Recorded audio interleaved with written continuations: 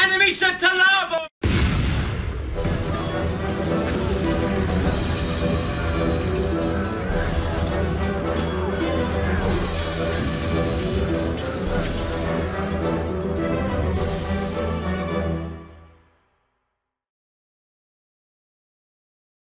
Welcome to another episode of the Lepanto Institute's General Quarters. Today we have with us uh, a young man who is a professional musician, Mr. John Gallo. John is married and his wife is about to give birth quite literally any moment.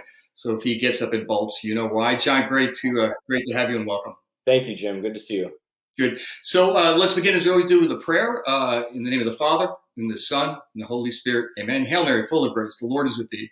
Blessed art thou amongst women, and blessed is the fruit of thy womb, Jesus. Holy Mary, Mother of God, pray for us sinners, now and at the hour of our death. Amen. Our Lady of Victory. Pray for us. In the name of the Father, the Son, Holy Spirit. Amen.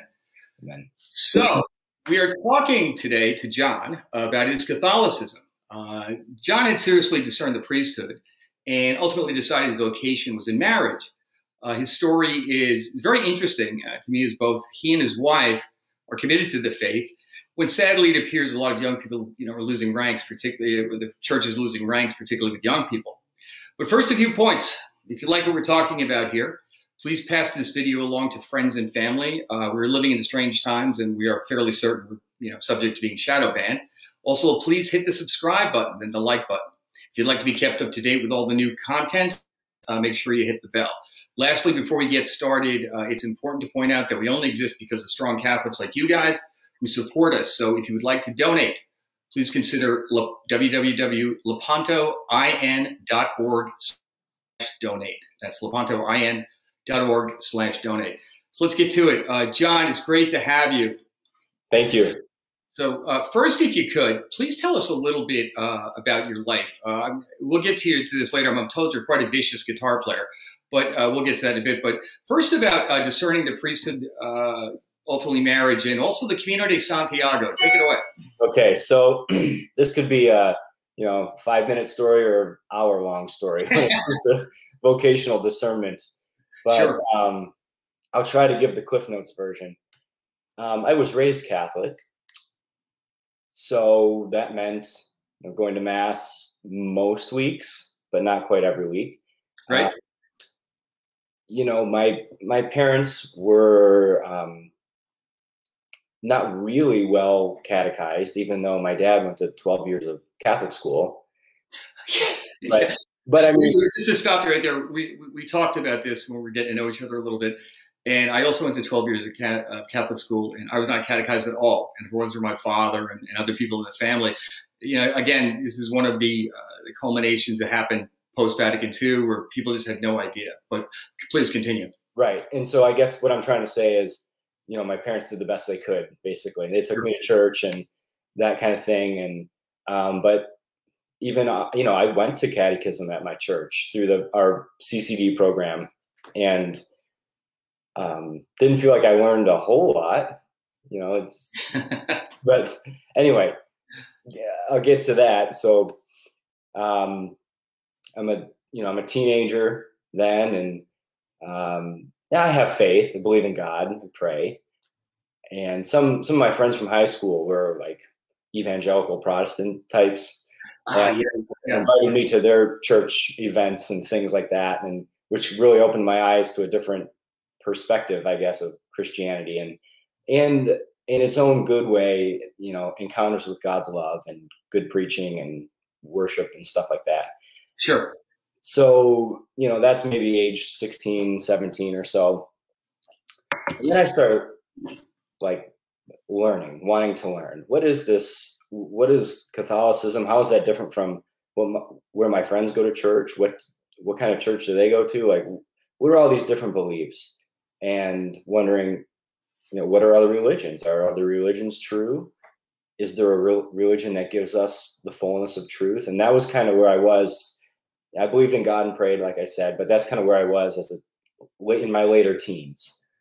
So did a lot of my own research, you could say, and um, decided, yeah, okay, I think I think God is real. I think Jesus is who he says he is, Son of God.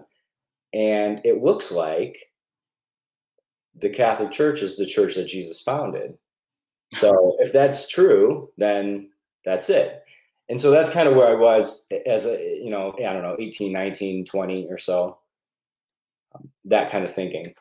Right, right, and then and then and then you went to college. If I you were at college during this point, right? That had a big effect, if I remember correctly. Yes, I went to Wayne State University in Detroit, and in my second year there, uh, a, a, really great community of priests called the Companions of the Cross were invited to take over the um, the Newman Center at Wayne State. The Newman Center is the Catholic Student Center. Right, right, right. So those guys came in, and I meet this young priest who's in charge of it. He's like in his early 30s, newly ordained, and just a great guy. Really loves God, really knows the faith, and so. And anyway, throughout my time there, are a number of different companions, priests cycled in and out of there. And I got to know a lot of them, got to know a lot of their seminarians and just all really like real guys, cool guys, but who really loved the church and loved the faith and were committed to living, you know, a Catholic life. Sure. And um, so that's where I really grew in my faith a lot in college. And those guys really, I would say, educated me and catechized me well. You know, and, and, and the Companions of the Cross, uh, for those at home, uh, the guy we would most associate with this in terms of social media be Father Mark Goring. Yeah. Is that right? Right. Right, right, right. Okay. And so uh, that's that's cool. So they were were you kind of if I could ask, were you kind of shocked when you started to learn about uh, catechism and just go, ah, you know, because with me it was a personal, uh, a consistent, uh, I would say, uh, sequential logic that really grabbed me. Tell, tell me about your experience there. Are you talking about um, believing the church to be true? Yeah, in the sense of the theology behind it and what the mass was about and, and things like that. Or, or maybe it was. Tell me about your your journey that way. Yeah, mine. Well, I was in my late teens, so it was a little more simple. I think it was. Sure. Um, it, well, first of all, is there a church that goes all the way back to the time of Jesus? Did Jesus intend there to be a, a certain church, a certain way? Yep. Or did he just say, "Have at it"? And logically that doesn't really make sense. Right. And then I, and then I, somewhere in my you know reading wikipedia pages i learned about apostolic succession and oh you can trace all the popes back and oh um, a bishop gets ordained by a previous bishop and you know apostolic succession. And oh that makes sense. So and then you read a, a little bit more about that and you see you know, breaking of bread the eucharist. You can kind of see oh that's that's the Catholic Church does go all the way back. And yeah, exactly. Yeah, no, that that's a great point. Apostolic succession is, and then you, uh, you know, with me, I don't know if you hit it would hit me also was, um, especially you mentioned evangelicals, and you can't help, you know, evangelicals. God bless them. You know, they're, they're our cousins, I guess. They uh, they're scriptura. You know, the Bible, you know, the Bible only, and and and I get I've gotten in many arguments about the Bible. Well, yeah, but it uh, it actually kind of was the information was uh, disseminated and put together by the Council of Rome, Jerusalem, Constantinople. it was the exactly. yeah. church that did that, and um, that that uh, that pointing that out was met with much derision. So uh, yeah, you know, generally speaking, but I, I had a very similar sort of epiphany too, and in, in a world of uh, relativity. You know, I mean, what are there? 40 something thousand Protestant denominations. And after a while, it's, it's mind boggling Right. You know. Right. So so then like, uh, oh, like Matt Fradd says, to be uh, to know history is to cease to be Protestant. I think. Yeah. Right. Really, I mean, it, it, sounds mean, but it's true because like the Bible alone, well, the Bible wasn't really totally together until the year around the year 300 or so. So right, yeah, 100. percent I forgot. That's a great quote. Thanks for bringing that up. Mm-hmm. Um, so then all of a sudden, so you you meet these guys, you get a little formed out. Then then you're kind of discerning the priesthood right? Well, yeah, I would actually go back to when I was about 18, um, as I was kind of, well, really loving, falling in love with the church and the sacraments and uh, starting to be attracted to the church for the first time. Growing up, I wasn't really attracted to it, like most kids. You know, it's just boring. It's just what you have to do on Sunday. Right. But then as I, you know, started to learn and deepen my faith, I really loved the church and the sacraments and the Eucharist and going to Mass and so I think out of that came a natural attraction to the priesthood. once you really know what the priest does, offering the the sacrifice of Jesus in persona Christi, once you get that, you can't not help but love the mass and love the priesthood. So as a you know, as an 18 year old, 19, 20, whatever, naturally I'm thinking there's that part of me that's like, oh wow, this is awesome. I'm attracted to the priesthood. But then there's that other part of me like, I don't want to be a priest. I want to be a guitar player. I want to get married. so fair I enough. I, I, basically wrestled with that feeling for a long time. And and I guess that attraction and maybe confusing the attraction for being called to it.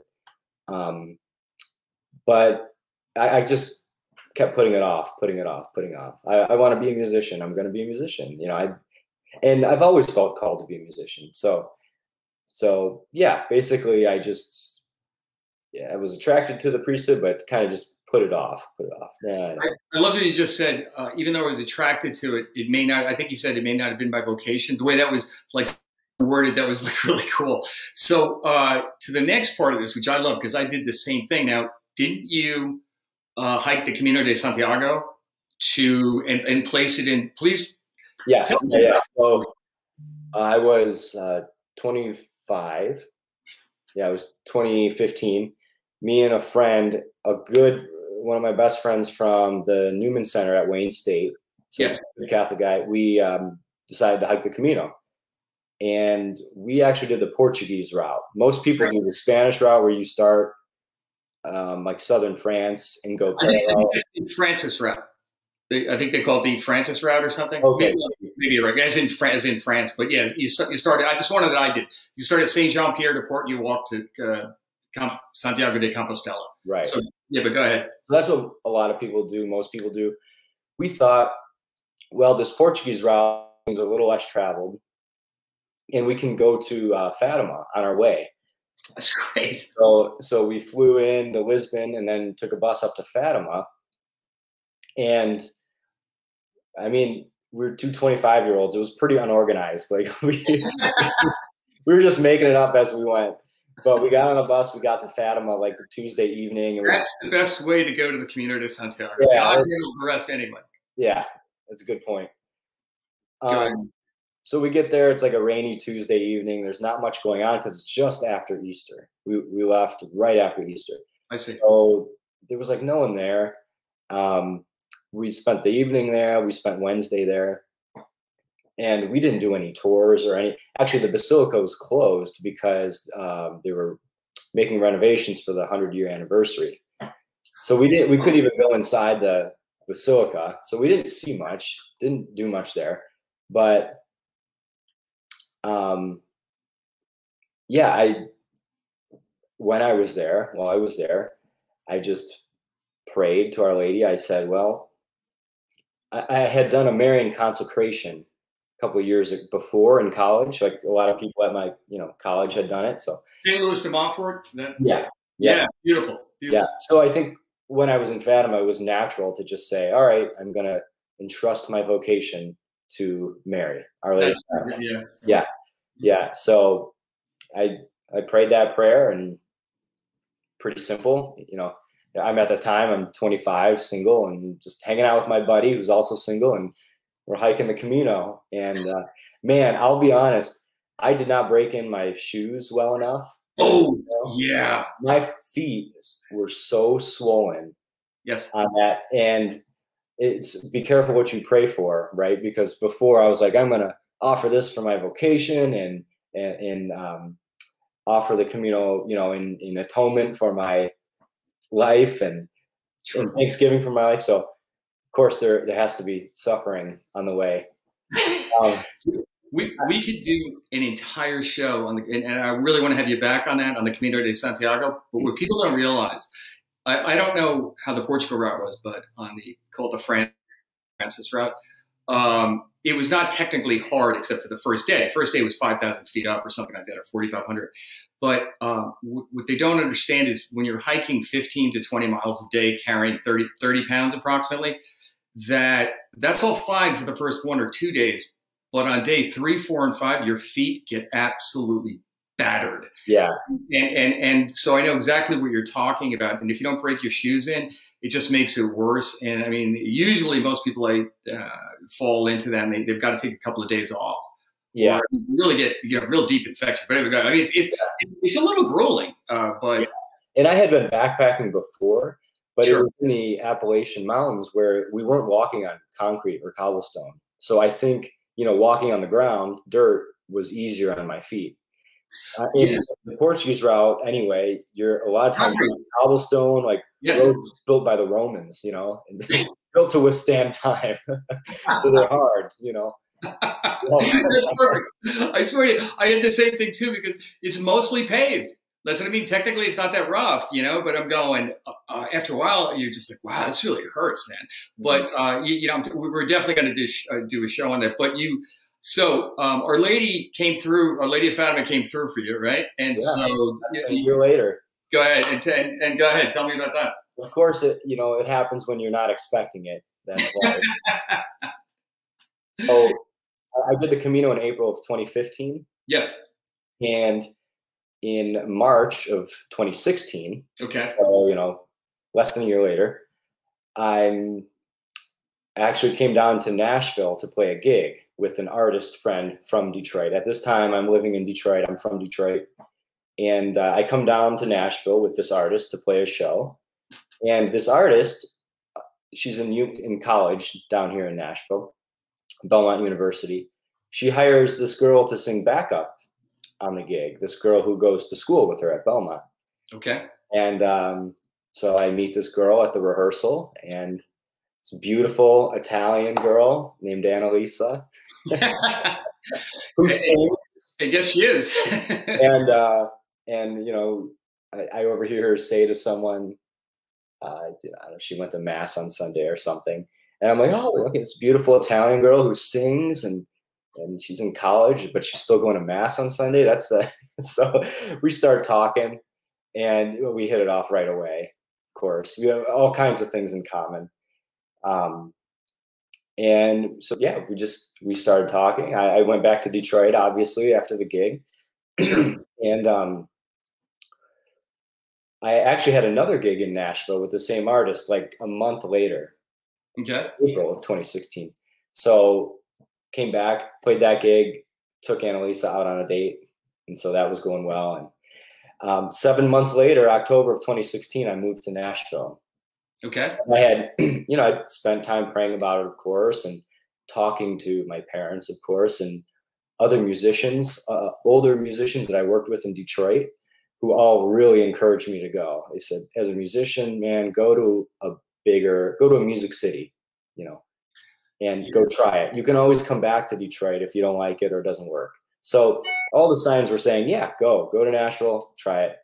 So October of 2016, I moved to Nashville and Annalise and I are dating at this time, full time.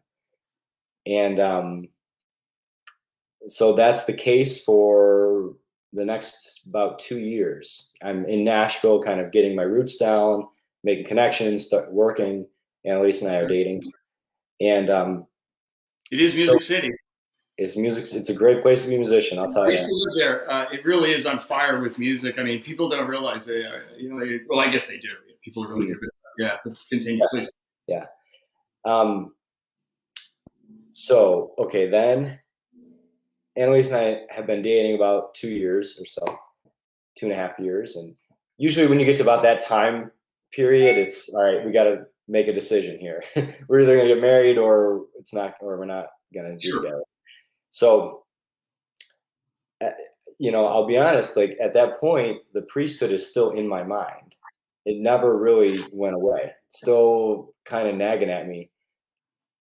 Um, and it just got to a point where I had to say to her, like, I can't, I can't marry you with this nagging me. I just can't. It would be, it wouldn't be fair to you. It wouldn't be fair to me, our future, our future, our future kids.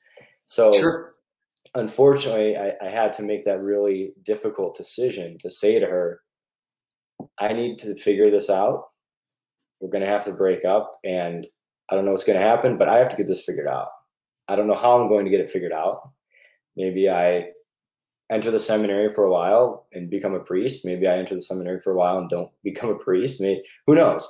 But I, you know, so we broke up, and that was in November of 17? 18. 18, yes, okay. Yeah, November of 2018. So stopped, cut it, cut it all off with her. Stopped talking to her, and um, just prayed every day. God, if you want me to be a priest, help me to want to be a priest. Because right now I don't really want to be a priest, despite being attracted to it. And honestly, that's where I was. And you know, good priests who advised me, like say, you know, if God wants you to be a priest, you'll he'll help you want to be a priest. um, so prayed that prayer every day for a couple months at least. Interestingly, after a month or so, maybe two months, I, I noticed um, my desire to be married actually increased slightly, just sure. slightly increasing. Okay. Which was interesting because it's not like I had a burning desire to get married right away. So, but anyway, it's still not resolved. So I said, I'm going to just begin the application process for the seminary. And I chose to do it with the, this community, the Companions of the Cross, because I knew them, liked them, trusted them. It's all, all good. Um, so I think it's like end of January, early February 20, you know, four or five months later, whatever, 2019, I guess.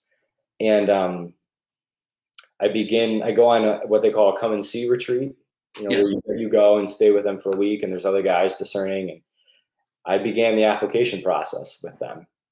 And a number of things happened that were kind of like doors closing. Um, one was it, it, was the winter, the, the, you know, you have to do a psychological exam to yes. apply the the psychologist had slipped, you know, fell, broke her ankle, and I, I couldn't meet with her the whole time I was there. Um, and I had you have to do interviews with priests in the community, you know, to when in the application. I had four interviews. Uh, each interview had a very profound thing that really said to me like, "This is not it." And um, one in particular, interviewed with this priest, and I told him where I was at. And I said, "Look, I was dating this girl for a long time. I could see myself marrying her, but the priesthood's nagging at me." So I broke up with her, and I've pray, been praying every day. You know, God, if you want me to be a priest, help me to want to be a priest. Change my heart. And I tell him, I tell him this, the priest, and he kind of he kind of smiles and sits back, and he says, "Yeah, I, I had a real similar situation." He said, "I was with I was with this girl for a long time and I was so in love with her. Yet I was thinking about the priesthood and I said, I'll break up with her for a couple months and discern the priesthood and get back with her because there's no way I can't marry this girl. I'm so in love with her. And he said, Well, I broke up with her and as I was praying and going to adoration over slowly over time, I wanted to be a priest. And I kind of just forgot about her. Wow so this priest is sitting there we're in this interview and he says to me you know you we it sounds like we did the same thing and had a different outcome. Yeah. Yeah. And so that so there was that and there were three other interviews each one with its with a really profound uh, grace of clarity you know giving me clarity that this is not where god's calling me to. Well this is really cool. Really yeah. So then yeah. what Um, well, I left that retreat, um, and, and there were other things, other conversations with other guys um, that were on the retreat, and just so many good things that gave me so much peace that I'm not called to the priesthood. I can put this to rest. I can move on with my life. Sure. And um, so anyway, I left the retreat I gave Analisa a call after. yeah. and um, you know, we we started talking again and slowly kind of got back together. But that's another thing to important to note about marriage. Like well, the, the religious life too is a two way street, discerning, but marriage is a two way street, discerning. like you both have to be in.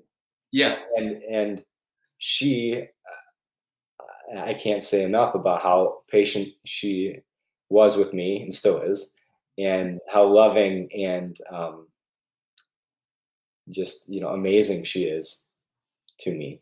So. Wow, great story. I, I just I uh, I start, I admit I particularly like the story about you know, well, I decided this isn't for me. Go back. That must have been a rough day. So I think I'll call Annalise. Uh, yeah. Hi. but this is a great tie into something else. Um, you, you, were good enough to watch uh, my interview with Dr. Janet Smith at Sacred Heart Seminary, which is where Companions of the Cross were sort of operating out of, right? Well, they send their seminarians there. Their seminarians do not live there. They live in community with the priests off campus. They, they study there. They, they, go to school there. Yeah. Yeah, exactly. So, uh, but uh, I, I, said to you in, in, that I said to rather to Dr. Smith in that interview, you know, was interesting for me that you know the summer of shame when we found out about the uh, the clerical sexual uh, abuse scandal uh, and addressed by the promise, and it was actually worse cover up systemic corruption and then the Pachamama. All of these horrible things were happening. And I, I mentioned that oddly, to me, it seemed uh, it actually strengthened my faith. It wanted me to get in the fight. And you kind of identified with that. Tell me about yeah. that as a young guy who's about to have a baby any minute. yeah. Yeah. Well, when you said that, I, I said, man, I felt the same way. I haven't heard anyone else say that. But yeah, I just I, I really meant it too. It was like I didn't under and, and you you really I, I could hear in your voice when you told me. So tell me, uh, you know, it helps me too. But tell me about that. Well, what you told me, and I completely agree, is it's so obviously evil and so yeah. obviously uh, a direct attack on the church that it's not just human failure. Like, you know, all of us who are trying to be holy and be saints fail. But this is something else. This is like diabolical. Yeah. Diabolical. Yeah. Yeah. yeah. I, I, it was the first thing I thought of. And I was so glad that that resonated with you because I'm just going, anybody else seeing this? I'm kind of going, they're, they're not going after the Hindus like this and, or, you know, right. whatever, whatever. It just seemed odd to me, you know, it was like mm-hmm. 2000 years of, of church history and clarity. And yet, you know, in the last hundred years, we've watched this slow incremental march that seemed to be uh, purposeful and, uh, in many respects, brilliantly diabolical. Right. You, you know, yeah, and if you compare like the rest of church history and the saints, the the writings and, and lives of the saints, with what you're seeing now in the church, it's so obviously different. There's that too. Ah, yes. You know what I mean? Like, I mean, like the saints are masculine, and I mean the the, the male saints, of course, but they're masculine and like badass is kind of a word. Right, exactly. I read Saint Saint Ignatius of Loyola's biography, and it's like, man, that was not messing around. And any of them in the early martyrs and um, and and what you see in the church now is like so it's like ultimate beta male. And and I, I, haven't heard that, and I can't tell you how much I agree. All I can think about as you're talking is Reverend James Martin and Ignatius Loyola. I'm going, huh? Yeah, yeah, yeah. yeah. But um, beta male. I got to write that down. That's just exactly right. Please continue with that thought. Like that's not what the, what it's been. That's not no. how the church has been. So when you see such a drastic change in like the last 50, 70 years, it really, what, what you to what you were saying and what we saw in 2018 with all this crap coming out, it right. it kind of makes sense. Yes, it, it makes sense. You know, it did. Uh, you know, it, it, was interesting too because as I'm listening to you talk, I'm, I'm thinking of uh, Joseph and and taking uh, Mary and the Christ child uh, away from Herod and, and you know, escaping to Egypt.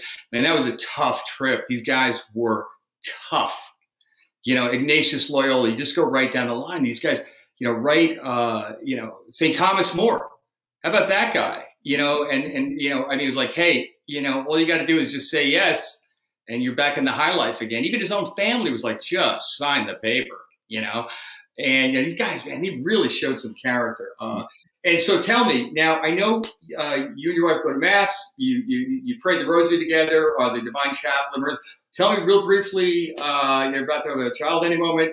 You know, I mean, I know it's a big part of your life. I think it's a, a really cool story, uh, by the way, especially with, uh, you know, frankly, I, I would think um, uh, you look around church, you're kind of anomalous uh, in, in, a way, and, and that's you know where we get a fight. But tell me about your plan going forward. What what you think, uh, all that good stuff.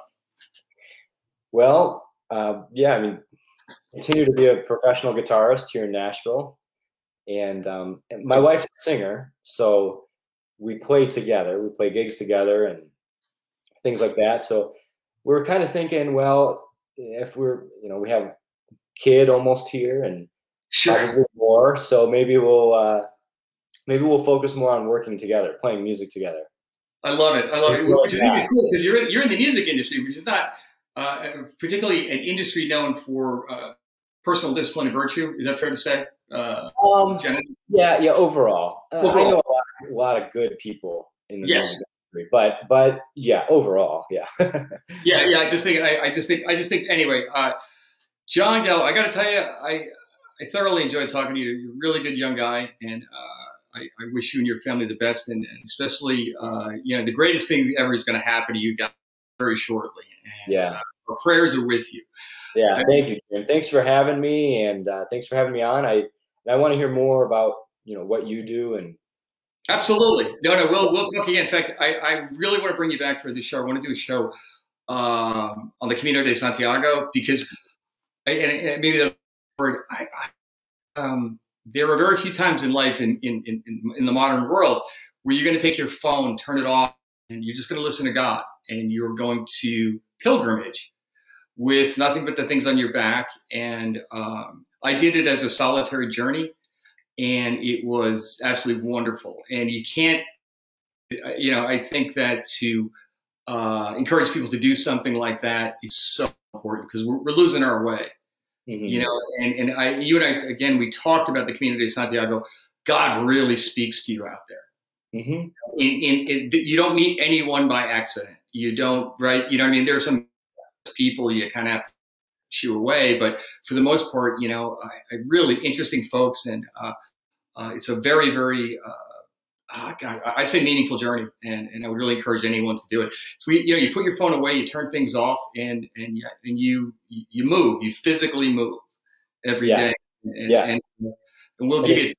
Go ahead, sorry, John. It's so um, representative of life you don't really you have a plan, but you don't really know what's going to happen or where you're going. That's really true. You're putting one foot in front of the next, and, and that's such a great. That's such a great because uh, yeah, you, you, sort of have a plan, but you know you're constantly getting thrown curveballs.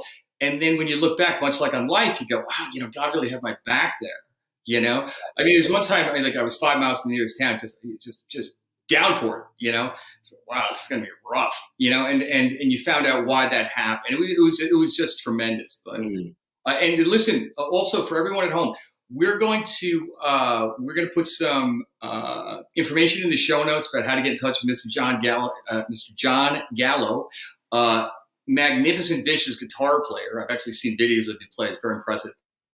And, you know, that way, if you want to get in touch with him or anything like that. But on that note, uh, if you are, it looks like we're about, to wrap it up before we go. It's important to point out that we only exist because of uh, good Catholic folks like you. So again, lepantoin.org slash donate. That's lepantoin.org slash donate. Or a second way is uh, to help out the Lepanto Institute. If you're looking for a great gift for yourself or someone, please um, visit our store, lepantocatholicgifts.com. We have a, uh, a beautiful uh, Lepanto cross. It's solid silver. Frankly, it's beautiful. Uh, Michael Hichborn designed it, and he fully credits uh, inspiration from Our Lady with the design. And uh, we're selling this as a sacramental, and we're really strongly urging you to get it blessed as well. The, chur- uh, the chain is either in sterling silver uh, or leather, you know, so depending on what your, uh, your particular preference is. And we wish again to thank Mr. John Gallo for taking the time from his busy schedule and uh, with a new addition to his family, about to show up at any minute. And I'm, I'm, not kidding. Thanks again, Johnny. Thanks for having me, Jim. You got this is Jim Maughan uh, from General Quarter saying goodbye. Right. Bye bye.